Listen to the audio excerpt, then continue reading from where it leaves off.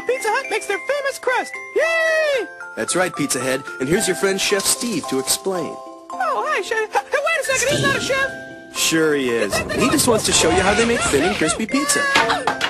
Of course, there's Bigfoot pizza.